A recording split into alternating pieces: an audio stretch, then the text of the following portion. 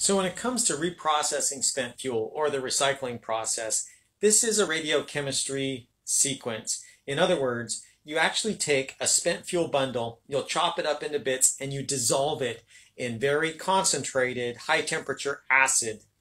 That turns the whole thing into a solution. What then takes place is what we call titration. Titration is where you change the pH such that certain chemical species will precipitate out or stay in solution.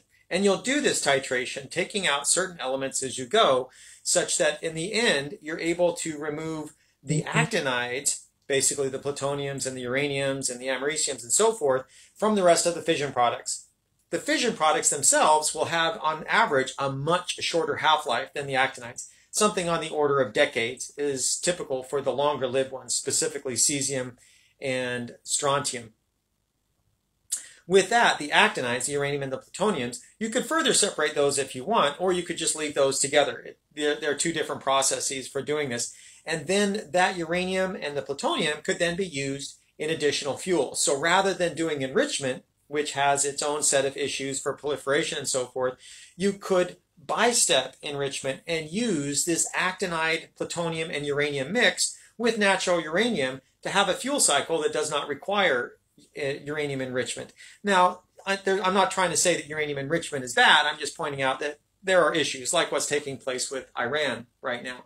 And so the benefit there is that you're by removing those fission products, you're able to take the longer lived actinides like the plutonium and turn them back into fission products that have a very, very short half-life.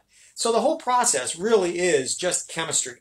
It just requires a lot of very fine tuning of the chemistry because those actinides, they have multiple oxidation levels. In other words, you could be, say, at a plus one or a plus two or a plus three or a plus four or negative states. And so each of them is very sensitive to the way that you, you treat it. But the point is that we know how to do it. It's been done.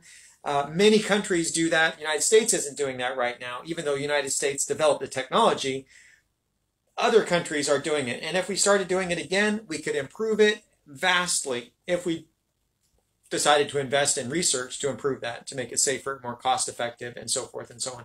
So I hope that helps. It really just does come down to a chemistry process, much like recycling of other things. But with uh, spent fuel, there are a lot more uh, safety issues that you don't have with other industries. So uh, we know how to do it, and we can actually do it quite well, and we could even do it better if we chose to do it. So I hope that helps. Thanks.